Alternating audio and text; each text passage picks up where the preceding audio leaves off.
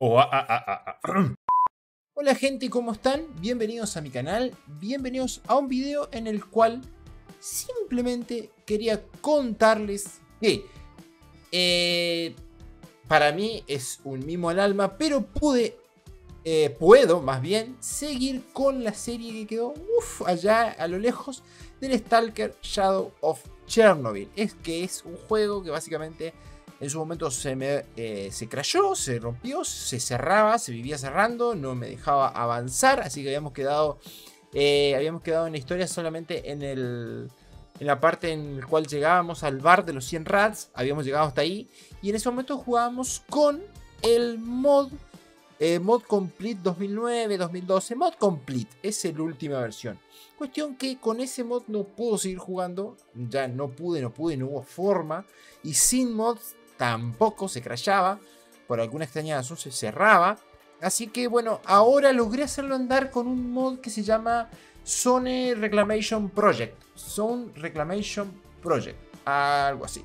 Que aparentemente dicen que con ese no crashea. A ver, tuvo un par de crasheos, pero muy mínimos al lado de lo que eh, me pasaba anteriormente.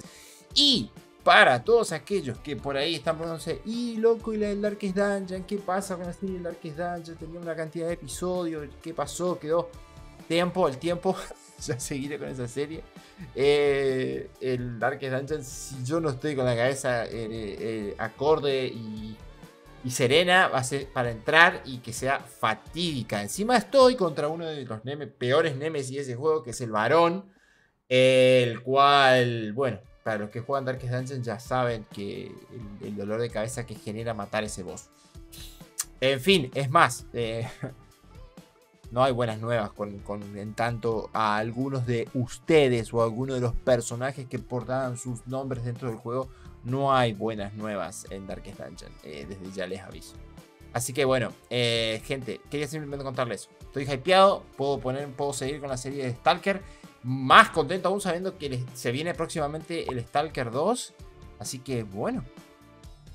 Bien dice la cosa, no hago la serie completa del Stalker Shadow of Chernobyl y pasamos después eh, a los que siguen.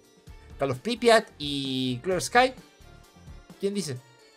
En fin, solo era para eso, no les quito más su tiempo. Sean felices, coman perdices y hasta chao.